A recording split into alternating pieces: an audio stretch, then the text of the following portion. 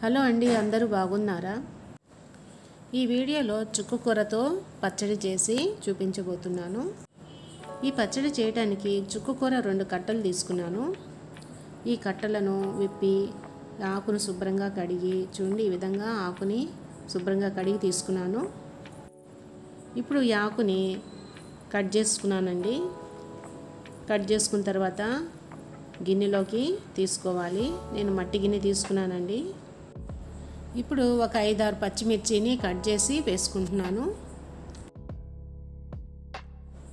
ఇప్పుడు స్టవ్ వెలిగించి స్టవ్ మీద పెట్టుకోవాలి. ఫ్లేమ్ని లోలో పెట్టుకోవాలండి. లోలో పెట్టుకొని చేసుకోవాలి. ఇప్పుడు మూత పెట్టి ఉడకనిద్దాం. ఉడికేలోపు చూడండి కొద్ది కొత్తిమీర తీసుకున్నాను. ఒక ఉల్లిపాయ మీడియం సైజు ఉల్లిపాయని కట్ చేసుకున్నాను. కొత్తిమీర కట్ చేసుకున్నాను కరివేపాకు కడిగి తీసుకున్నానండి. ఇది పక్కన ఉంచుకుందాం. చూడండి ఒకసారి ఆకుని కలుపుకుందాము. దీనిలో వాటర్ ఏమీ వేసుకోవద్దండి. ఆకులో ఉన్నటువంటి ఆ నీరే ఊరి ఆకు మొత్తం ఉడుకుతుంది. చూడండి ఇంకొద్దిగా ఉడికితే సరిపోతుంది. ఈ చుక్కు కూర చాలా ఫాస్ట్గా ఉడికిపోతుందండి. ఇంకా త్రీ టు ఫోర్ మినిట్స్ ఉడికితే సరిపోతుంది. మళ్ళీ కొద్దిసేపు మూత పెట్టి ఉడకనిద్దాం. చూడండి ఇప్పుడు పూర్తిగా ఉడికిపోయిందండి. చూడండి ఆకు ఈ విధంగా ఉంటే పూర్తిగా ఉడికినట్టు. పచ్చిమిర్చి కూడా ఉడికిపోయినాయండి. ఇప్పుడు గ్యాస్ని ఆఫ్ చేసేద్దాం.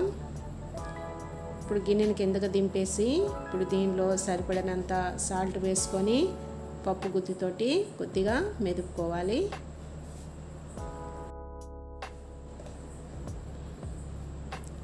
చూడండి ఇది పల్లీల పౌడర్ అండి. పల్లీలు ధనియాలు జీలకర్ర కొద్దిగా మెంతులు కొద్దిగా ఎండుమిరపకాయలు వేసి డ్రై రోస్ట్ చేసి మిక్సీ పట్టి పెట్టినటువంటి పౌడర్ ఇది.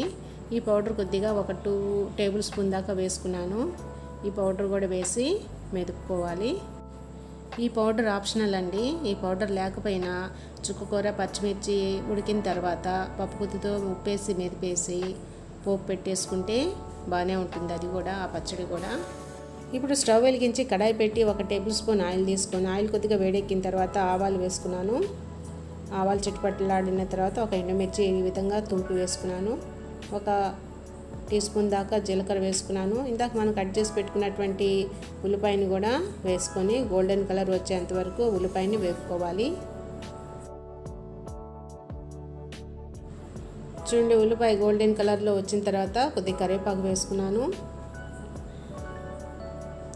ఇప్పుడు ఇందాక మనం కట్ చేసి పెట్టుకున్నటువంటి కొత్తిమీరని కూడా వేసి కొత్తిమీర కొద్దిగా నూనెలో వేగనిచ్చి తర్వాత ఆ పోపుని ఇందాక మనం మెదుపు పెట్టుకున్నటువంటి చుక్కకూర పచ్చడిలోకి కలిపేసుకోవాలి. ఇప్పుడు కొద్దిగా పసుపు కూడా వేసుకుంటున్నాను.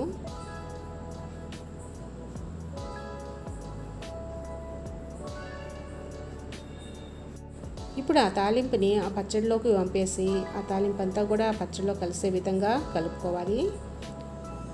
చూడండి ఈ విధంగా చుక్కకర పచ్చడి రెడీ అండి. చాలా టేస్టీగా ఉంటుంది. మీరు కూడా ఒకసారి ట్రై చేయండి. ఈ వీడియో కనుక మీకు నచ్చినట్లయితే లైక్ చేసి సబ్స్క్రైబ్ చేయడం అస్సలు మర్చిపోవద్దండి. మరొక వీడియోలో మళ్ళీ కలుద్దాం. బాయ్.